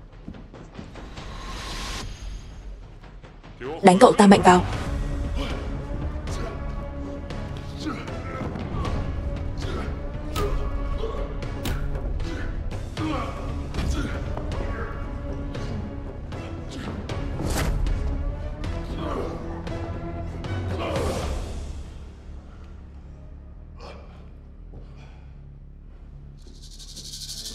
Cô nghĩ cậu ta còn cứu được sao?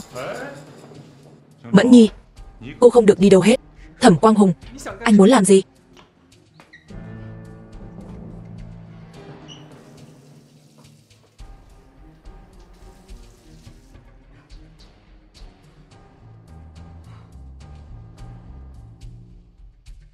Phim được dịch, thuyết minh và lồng tiếng tại phim châu Á.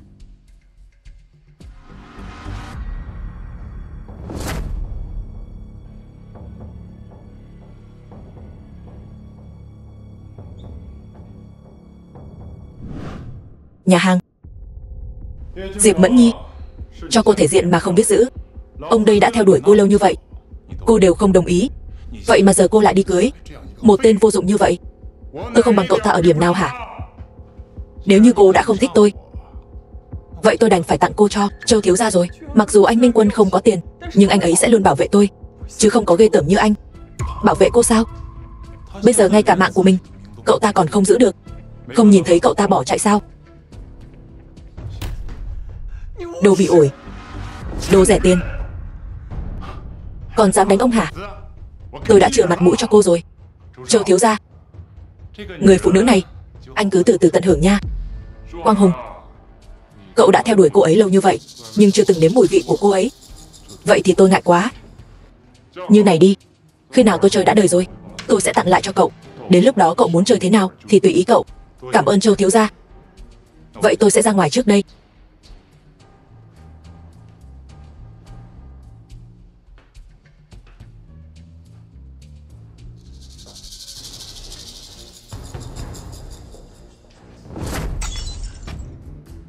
Chán sống sao? Cô cứ tự nhiên. Nếu cô không muốn sống nữa, Tôi sẽ tiễn ba mẹ cô. Còn có ông nội của cô xuống dưới chung với cô luôn. Để Diệp ra các cô được đoàn tụ. Nếu anh dám bước qua đây, Tôi sẽ lấy mạng anh. Cô muốn lấy mạng tôi sao? Châu Đức Nhân, Cậu chán sống rồi. Tôi muốn Diệp ra phải tiêu đời để tôi cho cậu tiêu đời trước. Diệp ra Nhất định Phải tiêu đời. Anh Minh Quân, Nếu lấy mạng anh ta, Thì thật sự sẽ lớn chuyện, anh đừng hạ thủ đấy.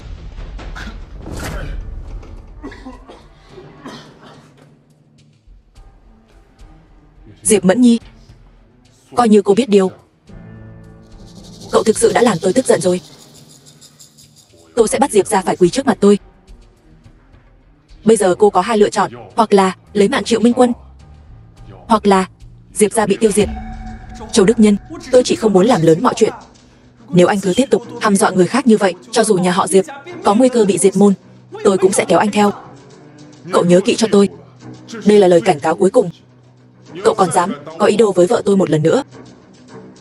Tôi đảm bảo, Thứ mà Châu gia các cậu nhìn thấy được Chính là xác của cậu đấy. Anh Minh Quân, Chúng ta đi thôi.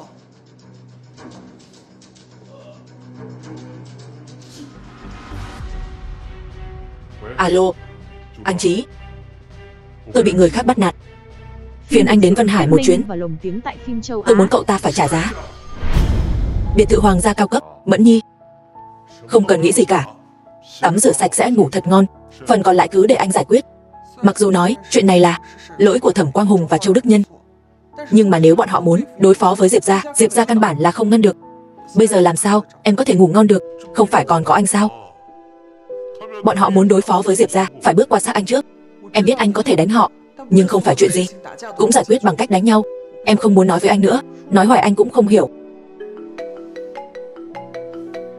Alo, Trương tổng. Cái gì? Anh muốn hủy hợp tác sao? Lần hợp tác trước của chúng ta không phải vẫn luôn. Alo, Trương tổng.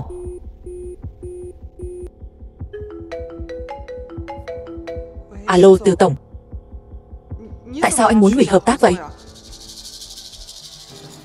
Được Tôi hiểu rồi. Đây là sao thế? Châu Gia và Thẩm Gia bắt đầu trả thù rồi. Những người trước đây đồng ý hợp tác với chúng ta Bây giờ đều lần lượt hủy hợp tác rồi. Họ hủy hợp tác. Đó là tổn thất của họ. Họ nhất định sẽ hối hận. Họ có hối hận hay không Em không biết. Nhưng các dự án hiện tại của Diệp Gia Bắt buộc phải ngừng lại cả rồi. Đối với Diệp Gia chúng ta mà nói là một đả kích cực mạnh. Anh bảo em nên nói với ông nội thế nào đây? Tôi vừa nhận được tin. Các nhà hợp tác của chúng ta, Toàn bộ đều đã hủy hợp tác rồi. Chuyện này là thế nào? Thẩm thiếu gia không phải hẹn châu thiếu gia ra, Để mấy đứa đi xin lỗi sao? Sao đột nhiên lại như vậy? Có phải cậu lại gây rối gì rồi không? Đúng là cậu định để Diệp ra. Tan nhà nát cửa mà. Cậu còn chưa hài lòng sao? Chuyện này không thể trách anh Minh Quân. Thẩm Quang Hùng đã hạ độc anh Minh Quân. Còn bảo Châu Đức Nhân làm nhục con. Nếu không phải nhờ anh Minh Quân, Con không biết bây giờ con có thể Quay về đây được không đấy? Thẩm Quang Hùng hạ độc. Sao cậu ta còn sống chứ? Mẫn Nhi, Nếu như con ở cùng với Châu Thiếu Gia, Vậy thì cái gì cũng đều có rồi. Nhà chúng ta cũng có thể lên một tầm cao mới rồi. Có gì không tốt chứ? Nếu con chủ động một chút Hắn cũng sẽ không dùng vũ lực với con đâu. Bà có biết nói tiếng người không đấy? Bà có phải là mẹ của Mẫn Nhi không? Cẩn thận tôi xử lý luôn cả bà đấy. Cậu dám sao? Tôi thấy cậu làm phản rồi. Cậu đừng tưởng Nhận được sự ủng hộ của lão gia Là muốn gì cũng được. Nếu tôi nói với lão gia Cậu xem chút nữa khiến Diệp ra diệt tập. Ông ấy chắc chắn sẽ tức điên đấy. Triệu Minh Quân Nếu cậu là đàn ông Thì bây giờ hãy đi dập đầu tạ lỗi đi Đừng liên lụy đến Diệp gia chúng tôi nữa. Một thẩm gia thôi, Chúng tôi còn không chống nổi. Lại còn có thêm một châu gia nữa. Chỉ có cậu biến đi. Chuyện này mới có thể coi như là kết thúc. Tôi đi dập đầu tạ lỗi. Họ có chấp nhận không? Người nên dập đầu tạ lỗi là Châu Đức Nhân và Thẩm Quang Hùng kia. Cậu tính làm gì? Dựa vào đâu mà bảo Châu Thiếu Gia Và Thẩm Thiếu Gia dập đầu tạ lỗi? Chuyện đến ngày hôm nay, Cho dù cậu là thiếu gia của Triệu Gia Cậu cũng không được đắc tội với Châu Gia. Dựa vào việc họ ra tay với Mẫn Nhi, Dựa vào việc họ hạ độc tôi, Họ không được sống. Đại nhân vừa nhận được tin, Châu Đức Nhân của Châu Gia Và Thẩm Quang Hùng của Thẩm Gia, Vậy mà lại dám đầu độc Long Soái. Hơn nữa, còn dùng vũ lực với phu nhân Của Long Soái. May là Long Soái nội công thâm hậu, Đẩy hết độc ra ngoài. Điều này khiến cho kế hoạch của họ thất bại. Dám hạ độc Long Soái. Châu Gia còn có Thẩm Gia, Đây là muốn bị diệt tộc sao? Châu Đức Nhân và Thẩm Quang Hùng. Sau khi bị Long Soái đánh một trận, Bây giờ đang tiến hành trả thù Diệp Gia. Đối tác và doanh nghiệp của Diệp Gia Đều đã hủy hợp đồng rồi. Hơn nữa, Châu Cửu Linh của Châu Gia Đang trên đường đến Vân Hải. Đừng nói chỉ là một châu đức Chí nhỏ nhoi. Cho dù là lão gia của Châu gia đến đây, Cũng đừng hòng động đến một sợi tóc của Long Soái Truyền mệnh lệnh của tôi, Nói với Châu Gia và Thẩm Gia Trong thời gian Trấn Bắc Vương nhận chức, Kẻ nào dám gây sự Tiện hết cho tôi. Ngoài ra Nói với những người Đã hủy hợp tác với Diệp Gia Tiếp tục thực hiện hợp tác. Nếu không Thì không cần thiết phải tồn tại nữa. Rõ. Biệt thự hoàng gia cao cấp Có xuống địa ngục cũng không ăn năn. Không xong rồi, thật sự tiêu rồi. Thanh Long Đại Nhân Không phải vẫn đang ở Vân Hải sao? Chúng ta đi tìm Thanh Long Đại Nhân. Thanh Long Đại Nhân nhất định sẽ không khoanh tay đứng nhìn. Đúng vậy. Thanh Long Đại Nhân nhất định sẽ giúp chúng ta. Mẫn Nhi, Nếu con không bằng lòng ở cùng Châu Đức Nhân, Vậy con đi cầu xin Thanh Long Đại Nhân đi. Cái này cũng được mà. Thanh Long Đại Nhân là chiến tướng của thần Long Quân. Chiến công rực rỡ, Làm người chính trực, Là một anh hùng lớn. Người như vậy, ai mà không thích chứ? Cho dù Mẫn Nhi đồng ý, Bà hỏi Thanh Long xem cậu ấy có dám không? Cậu câm miệng cho tôi. Trên thế giới này, chỉ có cậu là lợi hại nhất hả? Ngay cả Thanh Long Đại Nhân Cậu cũng không để vào mắt. Cậu là đồ vô ơn. Trước đây nếu không phải Thanh Long Đại Nhân xuất hiện giúp đỡ Cậu đã bị Thanh bang tiễn từ lâu rồi. Alo, Mẫn Nhi. Cô và Thanh Long Đại Nhân có quan hệ thế nào vậy? Sao cô không nói sớm? Trước đây là tôi không đúng Tôi xin lỗi cô. Mẫn Nhi Cô là người rộng lượng. Ở trước mặt Thanh Long Đại Nhân Nói lời tốt giúp tôi nhé. Tôi sẽ lập tức đến trước mặt cô. Tạ lỗi có phải là thẩm gia đưa ra yêu cầu quá đáng không? Mẫn Nhi, Bất kể là yêu cầu gì, Chỉ cần chúng ta giữ được Diệp ra còn nhất định phải đồng ý hết. Phải đấy, Mẫn Nhi. Miễn là có cơ hội xoay chuyển, Ngàn vạn lần không thể bỏ lỡ được. Nhất định phải nắm bắt. Thẩm Quang Hùng nói, Muốn trực tiếp đến xin lỗi chúng ta. Cái gì? Thẩm Quang Hùng muốn xin lỗi chúng ta. Con không nghe nhầm chứ? Con nghe rõ lắm. Hắn nói, con quen biết Thanh Long Đại Nhân. Chẳng lẽ là Thanh Long Đại Nhân đang giúp con? Tôi nhớ ra rồi. Nhất định là lần trước, Sau khi Thanh Long Đại Nhân gặp qua con, Đã thích con. Cho nên, chủ động giúp con đấy. Mẫn Nhi, Đây là một cơ hội lớn. Con nhất định không thể bỏ lỡ. Diệp Tổng, Trước đây là chúng tôi không đúng. Cầu xin cô hãy tha thứ cho chúng tôi. Tôi sẵn sàng. Bồi thường cho cô, tiền vi phạm hợp đồng. Chúng tôi dập đầu tạ lỗi với cô, Diệp Tổng. Chỉ xin cô tha thứ cho chúng tôi. Chúng tôi biết, cô và Thanh Long Đại Nhân có mối quan hệ như vậy. Đánh gãy chân chúng tôi cũng không dám. Hủy hợp đồng đâu. Đúng vậy, Diệp Tổng. Xin cô hãy tha thứ cho chúng tôi. Thanh Long Đại Nhân nói rồi. Nếu cô không tha thứ cho chúng tôi, Sẽ cho hai chúng tôi. Biến mất khỏi Vân Hải này, Hai cậu đứng lên đi. Nếu như hai người đã đồng ý Tiếp tục hợp tác như cũ, Vậy thì tôi sẽ không truy cứu nữa. Cảm ơn Diệp Tổng. Diệp Tổng yên tâm. Chúng tôi sẽ không dám có lần sau đâu. Số tiền hủy hợp đồng đó Chúng tôi nhất định sẽ chuyển vào tài khoản của tập đoàn Diệp Thị. Vậy xin phép Diệp Tổng Chúng tôi đi.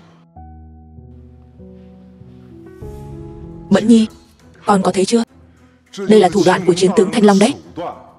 Chỉ cần một câu thôi Đã có thể làm lung lay. Sinh tử của một gia tộc Còn có thể khiến người ta quỳ gối cầu xin nữa đấy. Biết bao nhiêu cơ hội bày ra trước mắt Con còn do dự gì nữa Tối hôm nay, Đi cảm ơn chiến tướng Thanh Long ngay đi. Nếu như xảy ra thêm gì đó nữa, Thì càng tốt. Mẹ nói cái gì vậy? Đúng là con rất biết ơn, Thanh Long Đại Nhân. Nhưng con không đồng ý đi dụ dỗ Thanh Long Đại Nhân đâu. Mẫn Nhi. Mẫn Nhi ơi, Tôi đặc biệt đến đây để xin lỗi cô. Đây là chút lòng thành của tôi. Tên Mẫn Nhi là để anh gọi sao? Anh không xứng. Gọi là Diệp Tổng. Với lại Tôi không muốn thấy cái mặt anh. Anh tránh xa tôi ra Càng xa càng tốt. Diệp, Diệp Tổng. Lúc trước là do tôi sai. Nhưng mà đều là do Châu Thiếu Gia bảo tôi làm như vậy. Tôi cũng là bị ép thôi Mong cô Nói giúp tôi vài lời. Trước mặt Thanh Long Đại Nhân đi. Vậy tôi không làm phiền cô nữa. Tôi xin phép đi trước. Cầm lấy đồ của cậu. Cút đi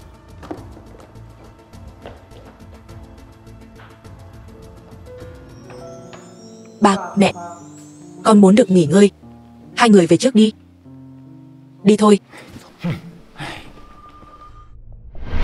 Bệnh viện. Cái gì? Chiến tướng Thanh Long lại đi Nói đỡ cho Diệp ra. Lẽ nào tôi ăn đánh là vô ích sao? Chiến tướng Thanh Long này Dù gì cũng là một trong tứ đại chiến tướng Bên cạnh Long soái Lời nói cũng có trọng lượng lắm. Hơn nữa Lấy nhậm chức Của Trần Bắc Vương sắp đến rồi Chiến tướng Thanh Long phụ trách an ninh của Vân Hải. Bây giờ chúng ta làm trái lời người này Không tốt cho Châu gia. Mà Diệp ra nhỏ bé kia. Muốn diệt bọn họ Còn rất nhiều cách khác. Được thôi Nếu chưa thể động đến Diệp ra được Vậy thì bắt đầu với Triệu Minh Quân đi. Anh Chí, Phiền anh đi một chuyến. Đưa Triệu Minh Quân đến đây gặp tôi.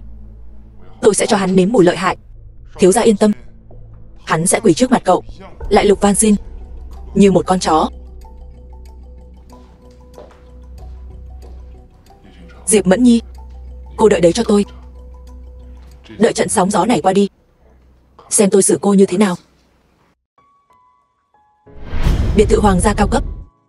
Minh Quân, Tiệc mừng thọ 70 tuổi của ông ngoại con. Chúng ta phải đến dự đấy. Mẹ. Bọn họ đối xử với mẹ con mình như thế. Chúng ta vẫn phải đi sao? Nói thế nào đi nữa? Ông ấy cũng là ông ngoại con. Không cần biết ông ấy có chấp nhận mẹ hay không. Mẹ vẫn phải đến dự. Con hiểu rồi.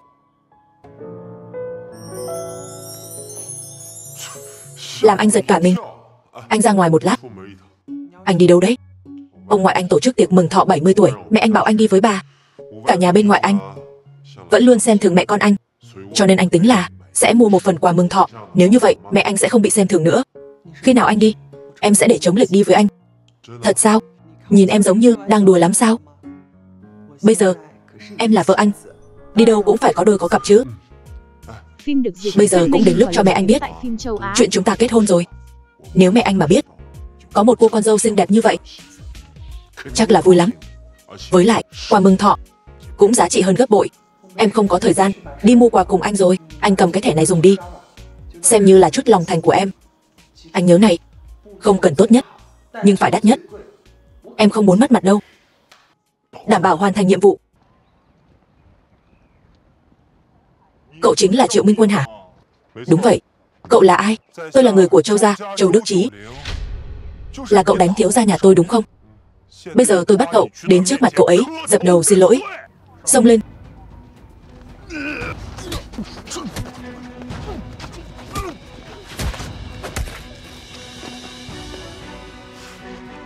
Về nói với Châu Đức Nhân, đây là lần cuối tôi cảnh cáo. Nếu cậu ta còn không biết điểm dừng, thì tôi không ngại khiến Châu gia biến mất khỏi đế đô đâu. Có chút bản lĩnh đã dám buông lời ngông cuồng như thế, chỉ dựa vào cậu. Chỉ dựa vào cậu thôi. Cậu đợi đã. Để tôi nói xong đã. Nói đi, chỉ dựa vào cậu, cũng đòi diệt tộc Châu gia chúng tôi. Cậu không biết Châu gia chúng tôi lợi hại cỡ nào sao? Bây giờ, để tôi nói cho cậu biết. Nói xong chưa? Xong rồi. Nhớ chuyển nguyên văn từng chữ của tôi cho Châu Đức Nhân